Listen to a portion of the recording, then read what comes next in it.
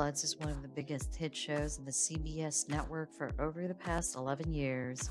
Mitchell Burgess and Robin Green created the police procedural series. The series follows the Reagan family.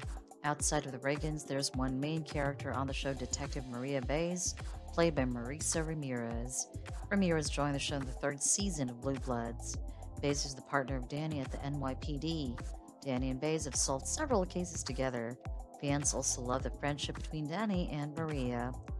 Fans noticed that Maria Baez has been missing on Blue Bloods season 12. Some fans wondered if Baez was leaving the show. Viewers say that Marisa's character appears less than usual on the show. One fan commented Reddit about Baez absent on the show. Blue Bloods commented that they're missing Baez and stopped leaving her out of the episodes. They also made a request not to kill off her character.